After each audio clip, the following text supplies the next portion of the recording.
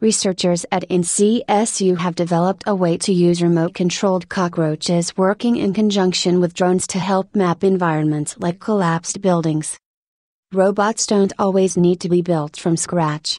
In the case of biobots, scientists have been able to hack into insects, turning them into remote controlled scouts to gather data and map unfamiliar or unsafe areas.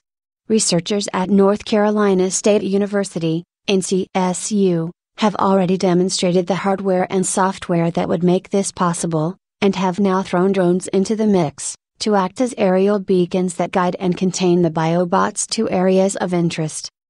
The NCSU biobots are made by fitting cockroaches with tiny electronics hooked up to their antennae and cerci, which the bugs naturally use to navigate. Located near the back of the abdomen, the cerci detect air movements and warn the critter of an approaching predator, while the antennae feel around in front for solid objects. Scientists can electrically stimulate these organs to effectively drive cockroaches remotely, using the cerci as an accelerator and the antennae to steer left and right.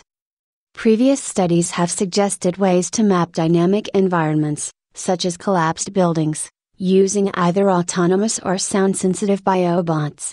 The NCSU system would see bugs allowed to run freely around a small, designated area, with a UAV keeping watch from overhead.